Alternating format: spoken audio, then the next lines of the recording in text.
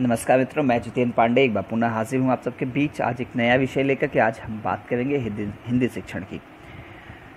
तो मित्रों, बात किया जाएगा हिंदी शिक्षण की। तो आप देखेंगे कि सीटेट में जब हम सी की परीक्षा की तैयारी करते हैं तो विशेषकर यहाँ पर विभिन्न विषयों के शिक्षण मिलते हैं। जैसे आप बात करेंगे, पर्यावरण शिक्षण आपको मिलेगा, हिंदी शिक्षण मिलेगा, आपकी कोई एक अन्य भाषा होगी, चाहे वो अंग्रेज़ी हो अथवा संस्कृत हो, उसका शिक्षण मिलेगा, या आपको सामाजिक अध्ययन का शिक्षण मिलेगा, आपको गणित शिक्षण मिलेगा, और ये बहुत महत्वपूर्ण होता है सी की परीक्षा में, क्योंकि जब तीस क्वेश्चन आते हैं किसी एक पार्ट से तो उसमें आप देखेंगे कि पंद्रह क्वेश्चन फैक्ट होते हैं और पंद्रह क्वेश्चन जो होते हैं वो शिक्षण के होते हैं।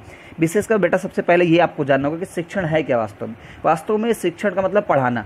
आपको ये जानना होता है कि जैसे हिंदी हो जाए, गणित हो जाए आपकी अदर कोई लैंग्वेज हो जाए, पर्यावरण हो जाए, आपका सामाजिक अध्ययन हो जाए, विज्ञान हो जाए, ये हमें क्लास में पढ़ाना कैसे है? इसको जब हम जानते हैं तो इसी को क्या कहते हैं? शिक्षण। इसके अंतर्गत बेसिकली हमें ये बताया जाता है कि हमारा कौन सी विधि की सहायता से हम पढ़ाएँगे, कौन से टीएलएम का यूज़ हम करेंगे, कौन से कौशल का यूज़ करेंगे, हम कहाँ कैसे चीज़ों को समझते हैं? इन सभी की जब हमें समझ होती है तो इसी को हम शिक्षण कहते हैं। और किसी भी विषय को छात्रों के मध्य प्रभावशाली ढंग से प्रस्तुत करने के लिए यह आवश्यक होता है कि संबंधित विषय की जो शिक्षण प्रक्रिया है, उसको हम बेहतर ढंग से समझते हो। तो आज हम लोग बात करेंगे हिंदी शिक्षण की बात करेंगे। टेस्ट है हमारा हमारा संस्थान उत्कृष्ट अकेडमी निरंतर छात्रों के लिए पीडीएफ उपलब्ध करा रहा है। लॉकडाउन के समय में आपको एसटी दे रहा है। उस एसटी को आप किसी भी माध्यम से प्राप्त कर सकते हैं, चाहे आप हमारे यूट्यूब चैनल पर जाकर के उत्कृष्ट अकेडमी अयोध्या से जहाँ अभी आप हमको देख पा रहे हैं, यहाँ से प्राप्त कर लीजिए, अथवा आप हमारे संस्थान के व्हाट्सएप नंबर चौहत्तर, पाँच सौ अठासी, चौबीस, एक सौ तेईस पर भी संपर्क कर सकते हैं। या आप हमारे संस्थान के Facebook account Utkrisht Academy Faizabad पे चले जाए। वहाँ से भी आप प्राप्त कर सकते हैं। अथवा की स्थिति में आप हमारे संस्थान के Facebook group Utkrisht Academy Faizabad अथवा हमारे संस्थान के विनय सर, उनके फेसबुक ग्रुप विनय मैथ्स के साथ जाकर के आप प्राप्त कर सकते हैं। इन माध्यमों से आप हमसे पीडीएफ प्राप्त कर सकते हैं और लॉकडाउन के समय में भी आप अपनी तैयारी को जारी रख सकते हैं। क्योंकि जैसे ही लॉकडाउन समाप्त होगा, आप देखते हैं कि सन्निकट सीटेट की परीक्षा है और ऐसे में क्लासेस बिल्कुल नहीं चल पा रही है। तो हम प्रयास ये कर कि अपने छात्रों को कुछ पीडीएफ की सहायता से क्वेश्चन लेकर के आए और उन क्वेश्चंस का अपने यूट्यूब के माध्यम से उनका सोल्यूशन आप तक पहुंचाएँ। तो ये सीटेट हिंदी टेस्ट वन के नाम से उत्कृष्ट एकेडमी का जो सीटेट है जो एसटी है, वो आप लोगों के बीच में पहले ही पहुँच चुका है। इसकी आंसर की भी पहुँच चुकी है। आज हम इसकी व्याख्यात्मक हल देखेंगे कि इन प्रश्नों को किस तरह से हम हल कर सकते हैं। तो मैं सबसे पहले आपको बताना चाहूँगा कि जब हम सीटेट को ध्यान में रख करके कोई प्रश्न पत्र हल करते हैं तो हमेशा ध्यान रखिएगा कि आपके अंदर सीटेट को क्रैक करने के लिए तर्क होना चाहिए। आपका अपना लॉजिक होना चाहिए। आपके पास स्वतंत्र चिंतन शक्ति होनी चाहिए। आपके पास व्याख्या की क्षमता होनी चाहिए। और आप सिचुएशंस को उस समय, उस क्वेश्चन के अकॉर्डिंग रख करके आपको देखना होगा। जब तक आप परिस्थितियों के आधार पर प्रश्न को नहीं हल करेंगे, आप सीटेट की परीक्षा को आसानी से नहीं क्रैक कर सकते हैं। ये बहुत बड़ा डिफरेंस होता है आपका यूपी टेट और सीटेट में। इस सीटेट में आपको जो प्रश्न दिए जाते हैं, वो परिस्थितियों पर आधारित होते हैं और वहाँ आपको, अपने आप को एज अ टीचर रखना होता है। आपसे क्वेश्चन पूछा जाता है कि एक परीक्षक के, एक अध्यापक की दृष्टि से आपके लिए बेहतर क्या होगा? या आपकी सोच क्या है? बट मैं बताना चाहूँगा स्टूडेंट्स कि आपको पूछा तो जाता है कि आपका विचार क्या है। बट उस समय आपको एंटायर होल को लेकर चलना होगा। आपको संपूर्ण को लेकर के सोचना होगा। आपको अपना ऐसा मत रखना होगा कि जो आपके लिए भी सही हो, सामने वाले के लिए सही हो, किसी थर्ड पर्सन के लिए भी सही हो, यानी कि सभी के लिए सही हो। कहता है कि आपका अपना विचार क्या होगा? पर कभी आप अपना विचार केवल सिंगल पर्सन को ध्यान में रखकर करके इंडिविजुअल अपने आप को ध्यान में रख करके उस प्रश्न का हल नहीं दे सकते हैं। आप सोचिए, स्वतंत्र चिंतन से सोचिए। आप ऐसा सोचिए जो सार्वभौमिक हो, जो सभी जगहों पे अप्लाई हो जाए, सभी लोग उसको माने, ये आपको ध्यान में रखना होगा। सीटर के पेपर को हल करते समय आज हम हिंदी शिक्षण की बात करेंगे और सबसे पहले हम लेकर चलते क्वेश्चन नंबर वन ध्यान से पढ़िए क्वेश्चन नंबर वन क्या कहता है? क्वेश्चन नंबर वन आपसे कह रहा है कि आपकी कक्षा में कुछ विद्यार्थी सड़क को सड़क बोलते हैं। इससे इसका सबसे संभावित कारण क्या है? यानी कि उनके अंदर क्या प्रोनाउंसिएशन फॉल्ट है? उनके अंदर उच्चारण की अशुद्धि है, वो सड़क को सड़क बोल रहे हैं तो सबसे मेन फैक्टर क्या हो सकता है, जिसकी वजह से वो ऐसा बोलते हैं? तो देखिए सबसे पहला विकल्प जो दिया गया है, उसमें मैं देखना चाहूँगा, सबसे पहला विकल्प लापरवाही का होना, और दूसरा देख उनकी मातृभाषा का प्रभाव होना, तीसरा उन्हें हिंदी ना आना, चौथा है सुनने में समस्या होना। तो जहाँ तक बात की जाए कि ये क्या कारण हो सकता है कि आपकी कक्षा में कुछ विद्यार्थी सड़क को सड़क कहते हैं? तो आप समझिए कि लापरवाही का होना ऐसा नहीं है, लापरवाही होता तो वह बालक बोलने का प्रयास ही नहीं करता, ये वो बालक नहीं बोलता है। दूसरा क्या है कि उसकी मातृभाषा का प्रभाव होना और तीसरा उन्हें हिंदी ना आना और चौथा सुनने में समस्या होना। देखिए, अगर सुनने में समस्या होता तो निश्चित रूप से वह बालक आपसे बात ही नहीं कर सकता, वो सड़क बोलने का प्रयास भी नहीं करता और उसे हिंदी नहीं आती तब भी मैं कह सकता हूँ कि वह सड़क बोलने का प्रयास नहीं करता। इसका मतलब कि हमारे पास अगर देखा जाए तो इस प्रश्न का जवाब क्या बचता है कि एक ऐसा विकल्प है, उसकी मातृभाषा का प्रभाव होना। कभी कभी देखा जाता है कि हमारी जो ओरिजिनल लैंग्वेज होती हैं उनमें कुछ और हम प्रोनाउंशिएट करते हैं और जब हम उसको व्यवहारिक जीवन में देखते हैं या किताबी भाषा देखते हैं लेखन में प्रयोग में लेकर के आते हैं तो वो अलग प्रकार की हो जाती है। जैसे हम लोग ये भी देखते हैं कि थोड़ी थोड़ी दूर पर, यानी कि कुछ किलोमीटर के डिफरेंस पे अगर आप देखेंगे तो जो हमारी भाषाएँ हैं, उनमें थोड़ा बहुत चेंजेस देखा जाता है। हम बोलते वही भाषा है, लेकिन उसका जो प्रोनाउंसिएशन होता है, उसमें थोड़ा बहुत डिफरेंस देखा जाता है। तो मेरा ये जो है, पहले क्वेश्चन का जवाब जो आपका है कि पहली कक्षा में कुछ विद्यार्थी सड़क को सड़क बोलते हैं, उसका संभावित कारण क्या है? तो आप विकल्प भी लगाएँगे कि उनकी मातृभाषा का प्रभाव होना। ठीक है? देखिए कभी कभी किसी केस में ये हो सकता है कि वो लापरवाही से बोल रहा हो। कभी कभी ये भी हो सकता है कि उसने सुनने में समस्या हुई हो। बट जब आप संपूर्ण को सार्वभौमिक को लेकर देखेंगे तो आपको पता चलेगा कि ये जो कारण है इसके पीछे, वो ये है कि उनकी मातृभाषा का प्रभाव है, जिसकी वजह से कोई बालक सड़क को सड़क कहता है। मेरे मित्रों, आज हम पहली बार हिंदी सीटेट के पेडोगॉजी वाले हिस्से को लेकर के आपके बीच में आए हैं। प्रश्न पत्र को हल करने का प्रयास कर रहे हैं। आप लोगों का सहयोग, समर्थन बिल्कुल आवश्यक है। आप वीडियो को देखने के बाद ज़रूर हमें बताएँगे कि ये वीडियो आपको कैसा लगा, ये आपके लिए कितना हेल्पफुल हो सकता है। चलिए क्वेश्चन नंबर दो की बात करते हैं। अगर क्वेश्चन नंबर दो की बात की जाए तो कह रहे एक बहुभाषिक एवं बहुसांस्कृतिक कक्षा के संदर्भ में निम्न में से कौन सा कथन सही है? मैं ध्यान आपका आकृष्ट करना चाहूँगा। क्योंकि हिंदी की क्लास है, हिंदी शिक्षण की क्लास है तो यहाँ बहुत सारी चीज़ें मैटर करती हैं। इसमें हम देखेंगे क्वेश्चन क्या पूछा। बहुभाषिक और बहुसांस्कृतिक। दोनों शब्दों को पहले मैं स्पष्ट करना चाहूँगा। बहुभाषिक का मतलब है कि जहाँ बहुत भाषाओं का प्रयोग किया जाए और बहुसांस्कृतिक का मतलब है कि जहाँ संस्कृति जो है, यानी कि क्लास में जितने सारे स्टूडेंट हैं मे भी कि उनकी कल्चर जो है डिफरेंट प्रकार की हो। तो मैं ये बताना चाहूँगा कि एक क्लास में जब स्टूडेंट्स बैठते हैं तो वो अभी हमारे यहाँ क्या चल समावेशी शिक्षा चल रही है। आप ध्यान दीजिए इस बात पर। कौन सी शिक्षा चल रही है? समावेशी शिक्षा चल रही है। तो बेटा, जब समावेशी शिक्षा की बात की जाती है तो इसमें जाति, धर्म क्षेत्र संप्रदाय, लिंग, भाषा, इन सारी चीज़ों का समावेश होता है। कोई बालक विशेष होता है, कोई बालक सामान्य होता है, यानी कि सभी प्रकार की चीज़ें इसमें पाई जाती हैं। तो यह संभव है कि एक क्लास में बहुभाषिक कक्षा हो जाए और बहुसांस्कृतिक हो जाए।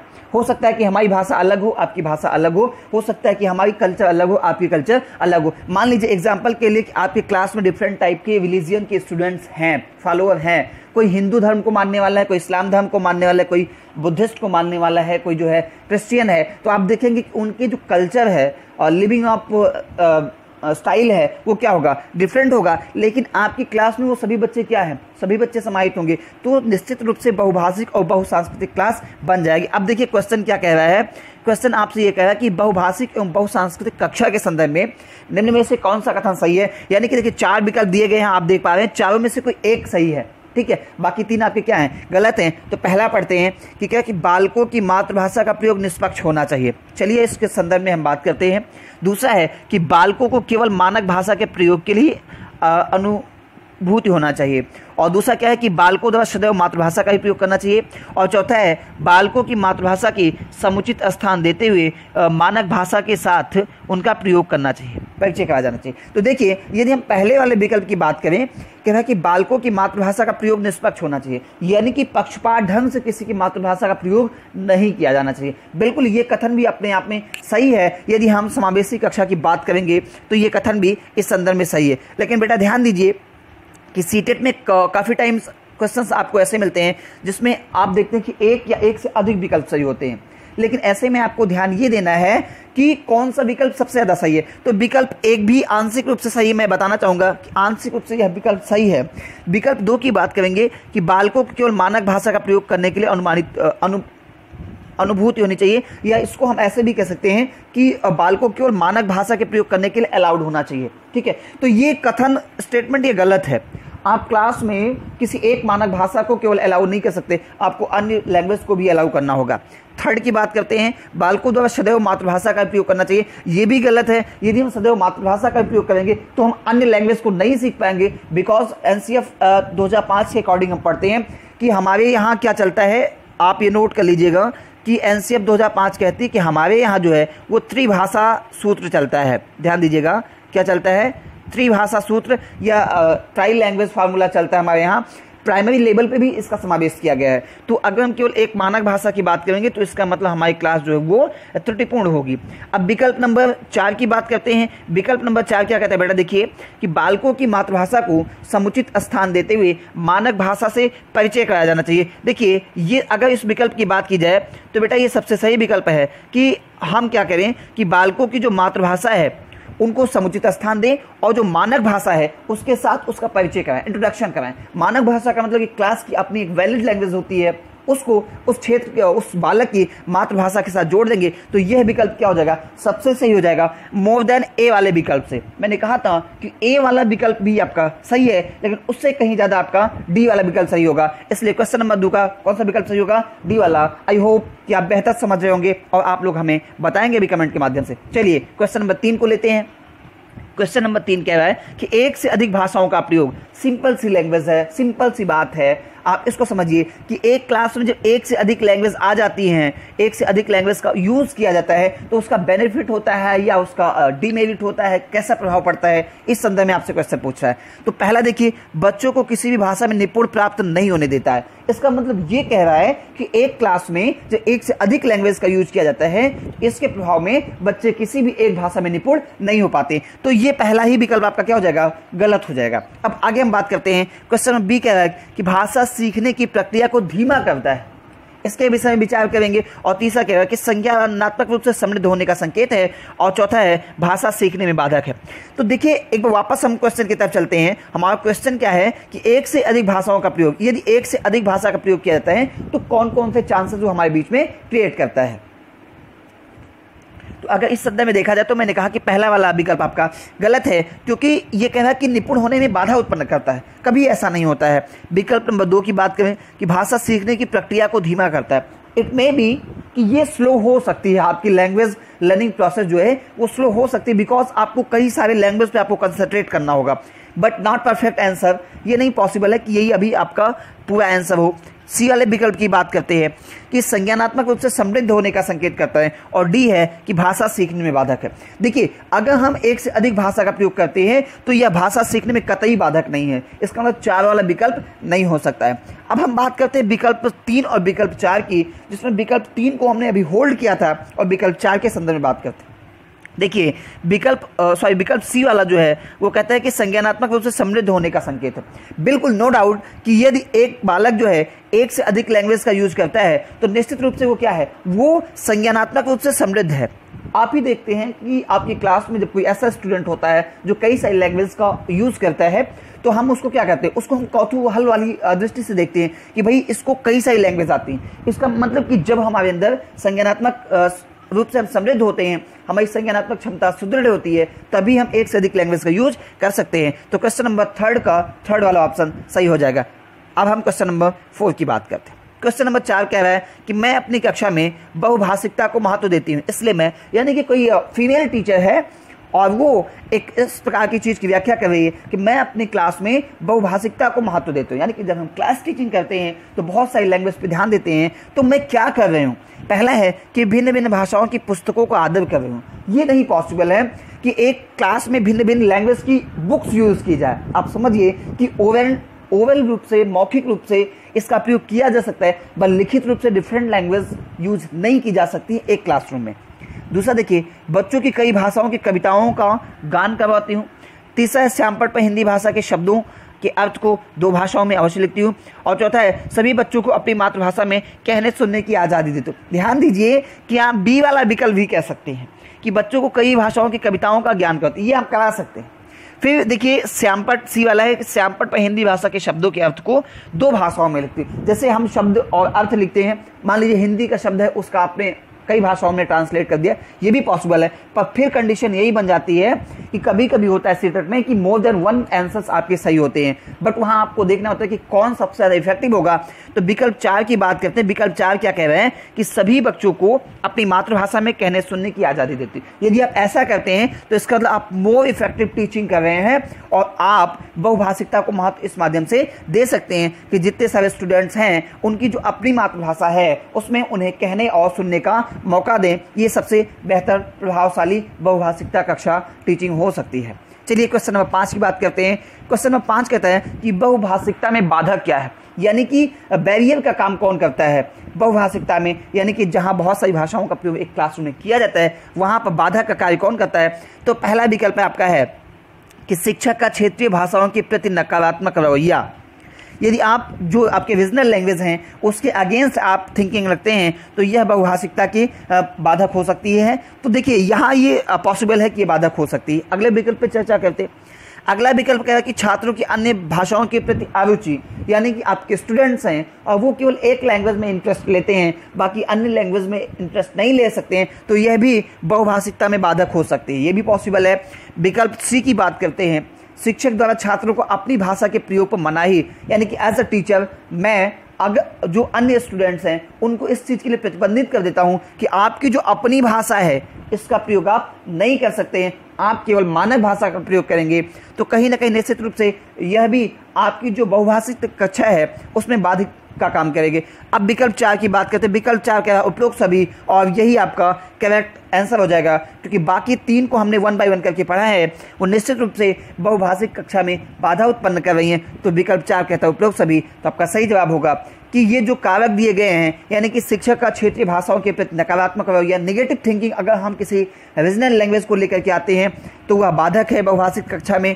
यदि हम छात्रों को अन्य भाषाओं में बोलने की अनुमति नहीं देते हैं और हम छात्रों की, खुद की अरुचि है, वो इंटरेस्ट नहीं ले रहे हैं अदर लैंग्वेज के विषय में तो निश्चित रूप से ये सारे कारक जो हैं, वो एक बहुभाषिक कक्षा के निर्माण में बाधक का कार्य करेंगे। ठीक है? देखिए, मैं स्पष्ट करूँ कि आपको एज इट इज़ क्वेश्चन आपको नहीं मिलेंगे सीटेट में। पर इस बिहार पे आपको क्वेश्चन मिल जाएँगे। बेटा, ध्यान दीजिएगा कि जब भी आप सीटेट की बात करेंगे और सीटेट में लैंग्वेज की बात करेंगे तो जिस टॉपिक पे आज मैं क्वेश्चन लेकर के आया हूँ आपके लिए, बहुभाषिक कक्षा पे ये बहुत महत्वपूर्ण हो जाता है और यहाँ से आपको क्वेश्चन मिल जाएँगे सीटेट के पेपर में। अगला प्रश्न है कि बहुभाषिक कक्षा में सुदृढ़ शिक्षण अध्ययन प्रक्रिया के लिए हमें क्या करना चाहिए? यानी कि एक मज़बूत शिक्षण अधिगम प्रक्रिया को हम अपनाएँ ऐसे क्लास में जो बहुभाषिक हो। क्या करना होगा उसके लिए? ये हमें प्रश्न पूछ रहा है। तो छह नंबर का प्रश्न है, ये क्वेश्चन नंबर सिक्स है। पहला विकल्प देखिए, भाषा की पाठ्य पुस्तक को पढ़ाना चाहिए। आपको बहुभाषी कक्षा की जो अधिगम प्रक्रिया है, शिक्षण प्रक्रिया है, वो स्ट्रांग हो सॉलिड हो तो उसके लिए क्या करना है? पहला विकल्प देगा कि भाषा की पाठ्य पुस्तक को पढ़ाना चाहिए। चलिए, आगे देखते हैं। बी वाला क्वेश्चन कह रहा है कि अन्य विषयों की अन्य विषयों की हमें क्या करना चाहिए? पुस्तकें पढ़ानी चाहिए। और सी कह रहा है कि छात्रों की छात्रों को उनकी मातृभाषा में भी बोलने के अवसर देना चाहिए। और डी वाला कह रहा है कि विभिन्न भाषाओं की पुस्तकें पढ़ानी चाहिए। तो बेटा, आपको क्या बनाना है? आपको एक बहुभाषिक कक्षा का निर्माण करना है। और आपको ये भी ध्यान देना है कि उस बहुभाषिक कक्षा में शिक्षण अधिगम प्रक्रिया जो है, वो सुदृढ़ हो जाए। तो सबसे ईजी वाला विकल्प क्या है आपका? और जो सबसे प्रभावशाली होगा ईजी एंड इफ़ेक्टिव हम कह सकते हैं।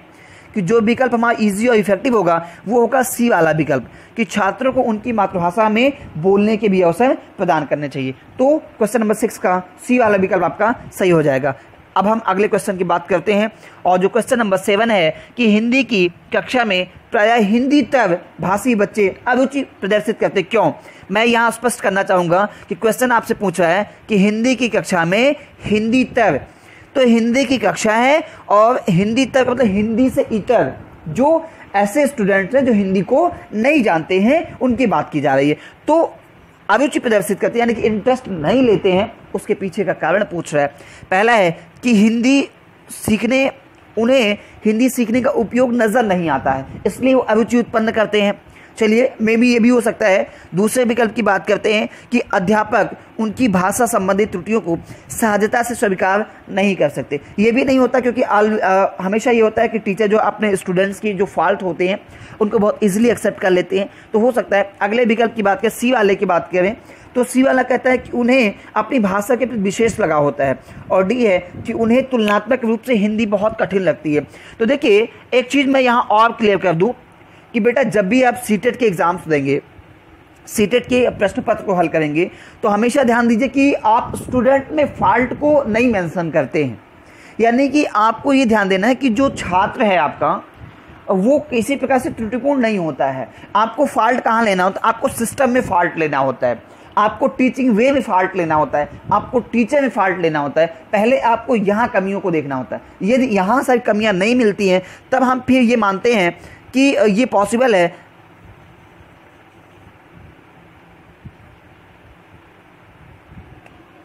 अगर यहाँ आपको कमियाँ नहीं मिलती हैं तो फिर हम ये देखते हैं कि ये पॉसिबल है कि स्टूडेंट जो है, जो स्टूडेंट है उसके अंदर किसी प्रकार की कोई व्यक्तिगत इंडिविजुअल डिफरेंस उसका हो, जिसकी वजह से ये पॉसिबल है कि वह इस प्रकार की रुचि नहीं लेता हो। बट यहाँ आप ध्यान दीजिएगा आपसे क्वेश्चन पूछा जाए कि प्राय हिंदी तो बच्चे आपकी क्लास में अरुचि लेते हैं तो आप यहाँ सीधा सा विकल्प लगाएँगे, क्यों नहीं, अपनी भाषा के प्रति क्या है?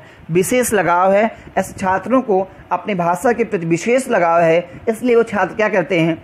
आप ध्यान देंगे कि वो हिंदी भाषा जो है, हिंदी सीखने में अरुचि लेते हैं। ठीक है? अब अगले विकल्प की बात करते हैं, या अगले प्रश्न की बात करते हैं। क्वेश्चन नंबर एट है आपका, कि गैर हिंदी भाषी बच्चे हिंदी सीखने में कठिनाइयों का सामना करते, क्योंकि लगभग क्वेश्चन सिमिलर है। वहाँ अरुचि की बात की गई थी, यहाँ कहा गया कि सीखने में आप कठिनाई उत्पन्न करते हैं।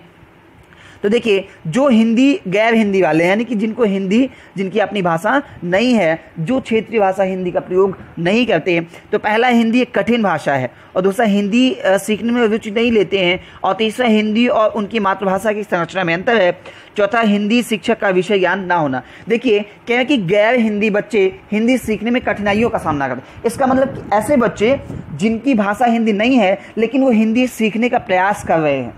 लेकिन हो क्या रही है? उनके साथ प्रॉब्लम हो रही है। तो देखिए, पहला विकल्प हिंदी एक कठिन भाषा है। तो कठिनाइयाँ हर जगह हैं, पर कठिन भाषा ऐसा नहीं है। हिंदी क्या है? आसान लैंग्वेज है। तो हम ये नहीं कह सकते कि हिंदी कठिन है, इसलिए उनको सीखने में कठिनाई होती है। दूसरा विकल्प ये कि हिंदी सीखने में रुचि ले, नहीं लेते हैं।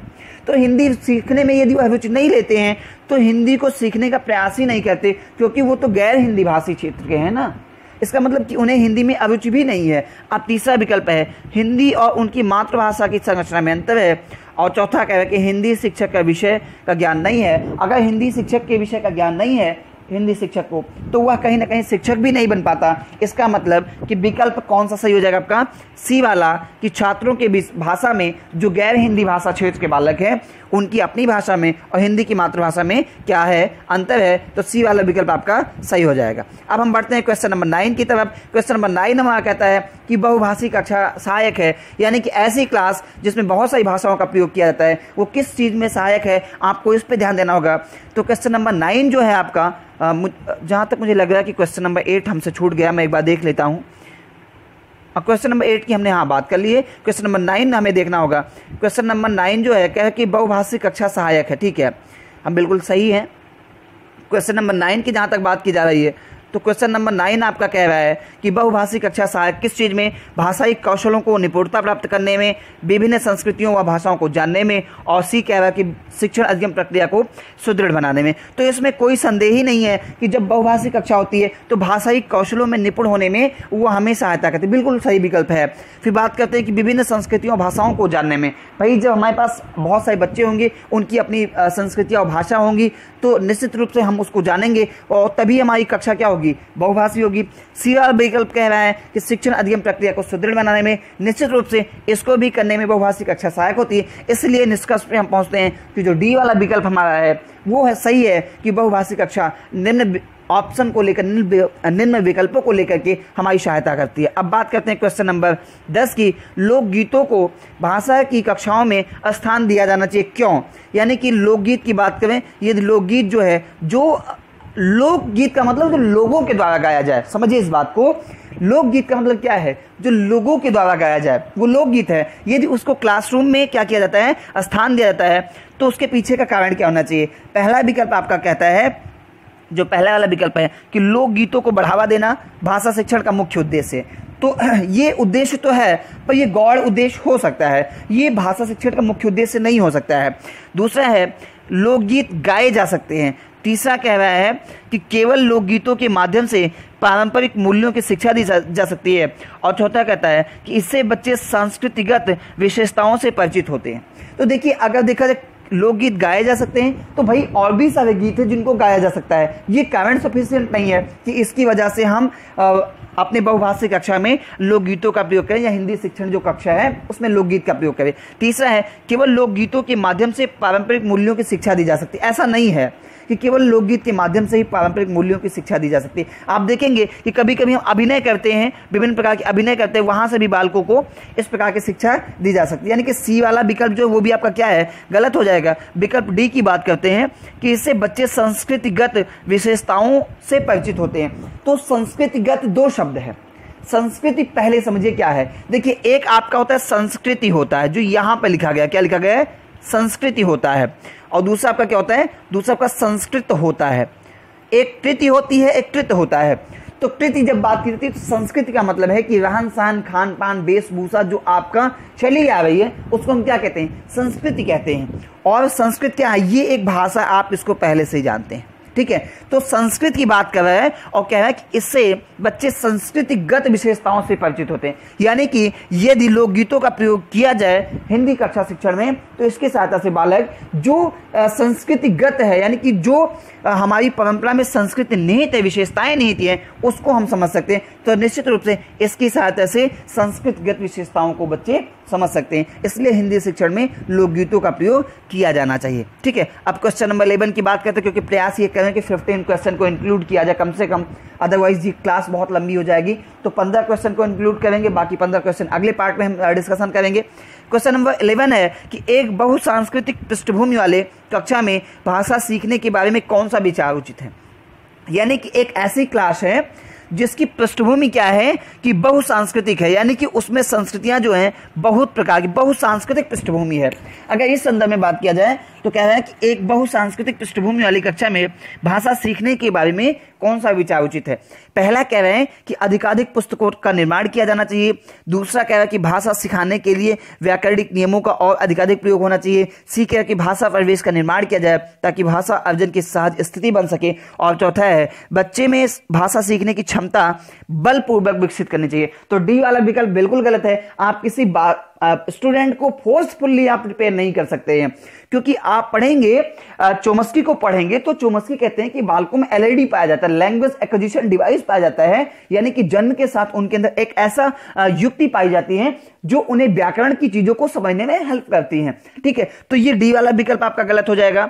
आपको ध्यान देना है कि बहुभाषिक पृष्ठभूमि, सांस्कृतिक पृष्ठभूमि वाली कक्षा में भाषा सीखने के बारे में आपको कौन सा ऑप्शन सही लगता है? तो बहुसांस्कृतिक का मतलब है कि ऐसा उनका कल्चर है जो डिफरेंट टाइप का रहा है। ठीक है, अब विकल्प दो की बात करते हैं कि भाषा सीखने के लिए व्याकरणिक नियमों का और अधिक प्रयोग करना चाहिए। यह नहीं पॉसिबल अगर आप और ज़्यादा स्ट्रिक्ट कर देंगे, और ज़्यादा जटिल कर देंगे व्याकरणिक नियमों को, तब भी प्रॉब्लम होगी कि बालक जो है भाषा को नहीं सीख पाएगा।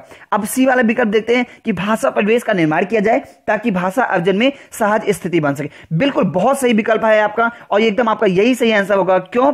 क्योंकि जब आप भाषा परिवेश का निर्माण कर देंगे, ऐसे आप इन्वायरमेंट का निर्माण कर देंगे जहाँ लैंग्वेज को सीखा जा सकता है तो निश्चित रूप से जो अर्जन की सहज स्थिति बन सकेगी, उससे बालक भाषा को बहुत इजीली सीख लेगा। तो क्वेश्चन नंबर इलेवन का आपका सी वाला विकल्प बिल्कुल सही है। आगे बढ़ते हैं क्वेश्चन नंबर ट्वेल्व को लेते हैं।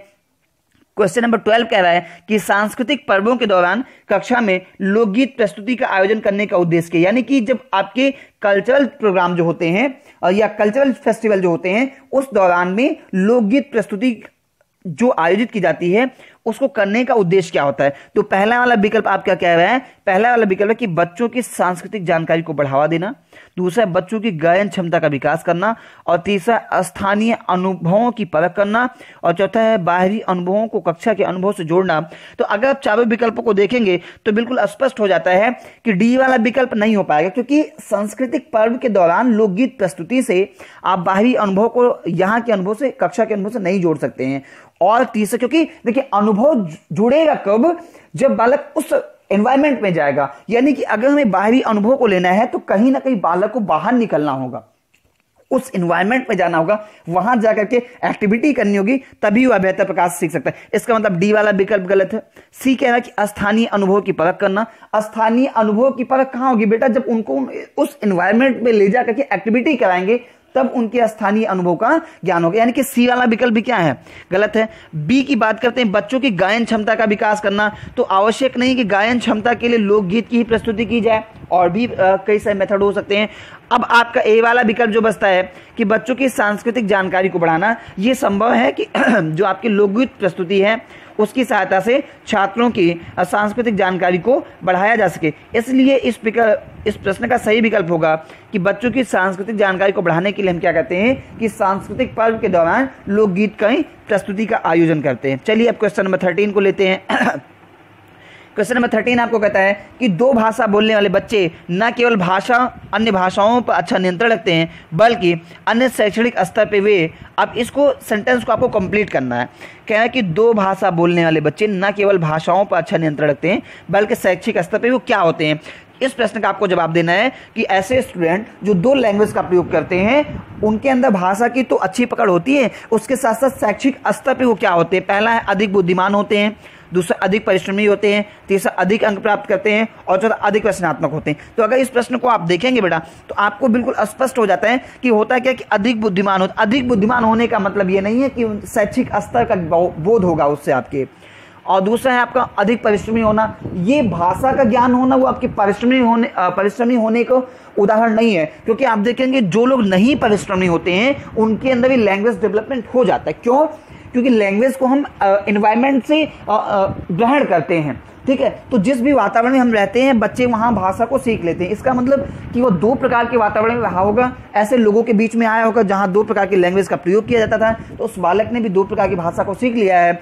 लेकिन वह आवश्यक नहीं है कि वह परिश्रमी होगा। अब तीसरे विकल्प की बात करते हैं कि अधिक अंक प्राप्त करते हैं। भाई, भाषा का ज्ञान आपको अधिक अंक प्राप्त करा देगा? ये नहीं संभव होता है। ठीक है, अब चौथे विकल्प की बात करते हैं, अधिक रचनात्मक होते हैं। बिल्कुल, ये आपका सही जवाब होगा कि यदि बालक क्रिएटिव होगा रचनात्मक होगा, सृजनात्मक होगा तो निश्चित रूप से कहीं ना कहीं उसकी दो भाषाओं पे भी अच्छी पकड़ होगी। तो चौथा वाला विकल्प आपका बिल्कुल सही हो जाएगा। अब क्वेश्चन नंबर फोर्टीन की बात करते हैं कि प्राथमिक स्तर पर बहुभाषिक पृष्ठभूमि वाली कक्षा में बच्चे एक बार फिर से पढ़ते हैं प्रश्न को।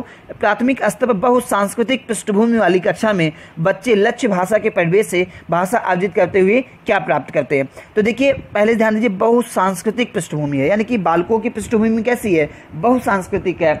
डिफरेंट टाइप के वो कल्चर से निकल करके आए हैं। तो बहुसांस्कृतिक पृष्ठभूमि वाली कक्षा में बच्चे लक्ष्य भाषा के परिवेश से भाषा अर्जित करते हैं। अब इसके विकल्प को चार दिए गए हैं।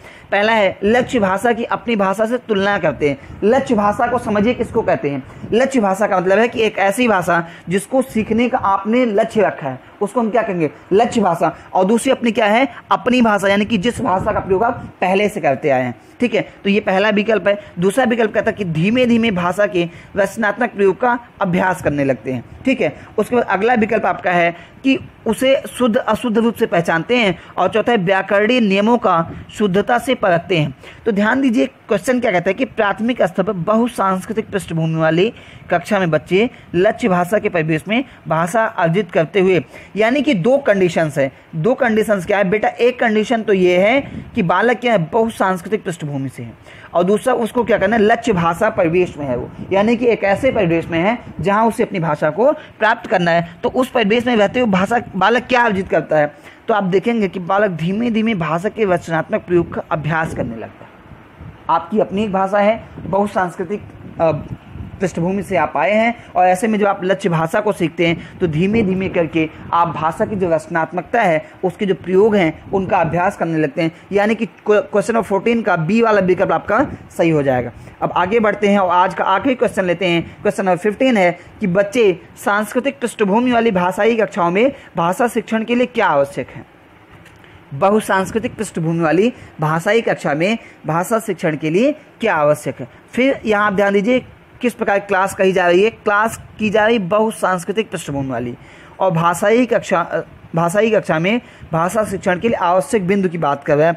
तो अगर यहाँ चर्चा की जाए तो सबसे पहला है कि परस्पर बातचीत के लिए अनेक अवसरों का निर्माण करना, दूसरा है विद्यार्थियों की श्रवण व लेखन कौशलों के अधिकाधिक अवसर देना विकास के, और तीसरा है विद्यार्थियों को भाषण व लेखन के अधिकाधिक अवसर देना। चौथा है लक्ष्य भाषा के विभिन्न भाषिक तत्वों का अधिकाधिक अभ्यास करना। तो देखिए बहु सांस्कृतिक पृष्ठभूमि वाली कक्षा में आपको क्या भाषा शिक्षण करना है आपको। क्या करना है? आपको भाषा पढ़ाना है। तो उसमें आप ध्यान दीजिए, बाकी के जो विकल्प है, उसमें श्रवण व लेखन को महत्व दिया गया है, इसमें भाषण व लेखन को महत्व दिया गया है, और इसमें क्या है कि विभिन्न तत्वों को महत्व देना है। तो श्रवण व लेखन मतलब सुनने व लिखने को, भाषण व लेखन को यानी कि विद्यार्थियों को भाषण और लेखन के अधिकाधिक अवसर देना, यानी कि बोलने और लिखने के अधिक अवसर देने की बात करें। लेकिन किसके? विद्यार्थियों के। तो यह भी संभव है कि विद्यार्थियों को किसी एक ही भाषा का उपयोग करने का अवसर दिया जाए। लेकिन जब बहुभाषिक कक्षा की बात की जाएगी तो यहाँ बेहतर क्या हो जाता है कि आप क्या कीजिए कि परस्पर बातचीत के लिए अनेक अवसरों का निर्माण कीजिए। क्यों? क्योंकि बहुसांस्कृतिक पृष्ठभूमि है। सबकी अपनी क्या है? कल्चरल बैकग्राउंड सबका अलग अलग है। और कक्षा कैसी है? बहुभाषी कक्षा है। तो जब सबकी कल्चरल बैकग्राउंड अलग अलग है तो नो डाउट कि उनकी अपनी भाषा भी अलग अलग होगी। और जब अपनी भाषा अलग अलग होगी, उस अपनी भाषा में सबको आप बातचीत करने का अवसर देंगे। तो कहीं ना कहीं मान लीजिए कि मैं हिंदी भाषी क्षेत्र से हूँ, या मैं अवधि बोलता हूँ मैं अवधि बोलता हूँ, कोई स्टूडेंट है, वो ब्रज की भाषा का प्रयोग करता है तो मैं भी बोलूँगा, आप भी बोलेंगे। तो जो बालक अवधि बोलता है, वो ब्रज को सीखेगा, जो ब्रज को बोलता है, वो अवधि सीखेगा। इसलिए सही विकल्प क्या हो जाएगा कि ए वाला विकल्प आपका सही है कि परस्पर बातचीत करने के लिए अवसरों का निर्माण करना चाहिए। ये आज के हमारे पंद्रह क्वेश्चन थे, हिंदी शिक्षण के अंतर्गत। हमारा प्रयास था, हमारा ये प्रयास आपको कैसा लगा, आप हमें ज़रूर बताइएगा। लेकिन फिर हम कहते हैं कि ये पीडीएफ आप हमें कई माध्यमों से प्राप्त कर सकते हैं। जैसे आप हमारे संस्थान के ऑफिशियल व्हाट्सएप अकाउंट पर चौहत्तर पाँच सौ अठासी चौबीस एक सौ तेईस पर कॉल करके या आप व्हाट्सएप से जुड़ करके पीडीएफ प्राप्त कर सकते हैं। इसके अतिरिक्त आप हमारे संस्थान के Facebook account Utkrisht Academy Faizabad पे जाकर के इसको प्राप्त कर सकते हैं। अथवा की स्थिति में हमारे संस्थान का जो ग्रुप है फेसबुक ग्रुप है, उत्कृष्ट एकेडमी फैजाबाद, वहाँ भी आप जुड़ सकते हैं। आप हमारे संस्थान के सर विनय सर, उनका जो अपना फेसबुक ग्रुप है, विनय सर का जो अपना ग्रुप है, विनय सर मैथ्स या विनय पांडे मैथ्स वहाँ से जुड़ करके भी आप पीडीएफ को प्राप्त कर सकते हैं। आपके लिए हम निरंतर तत्पर हैं, आपके लिए हम कार्यरत हैं, आपके लिए हम संघर्षशील हैं। ये आप स्वयं कहते हैं, हमारे जो विद्यार्थी हैं, उनके मैसेज आते हैं, हमें फीडबैक आता है, उस आधार पे हम कह रहे हैं। और ये हम प्रयास कर रहे हैं कि लॉकडाउन की स्थिति में जो सामान्य शिक्षण अधिगम प्रक्रिया नहीं चल पा रही, कक्षाओं का संचालन नहीं हो पा रहा है ऐसी परिस्थिति में भी हम अपने विद्यार्थियों के लिए कुछ बेहतर कर सके, जैसे सीटेट की जो सन्निकट परीक्षा है उसमें आपका सहयोग हो, आप बेहतर अंक अर्जित करें, आपके सपने साकार हों, आपके अपनों के सपने साकार हों। इस उज्जवल भविष्य की कामना के साथ आज की क्लास को समाप्त करते हैं। आप सब अपना फीडबैक ज़रूर दीजिएगा और हाँ चैनल को सब्सक्राइब नहीं किया है तो उसको कर लीजिए लाइक कीजिएगा और अन्य लोगों को भी, हमारी मुहिम के विषय में ज़रूर सूचित करें। धन्यवाद आपका।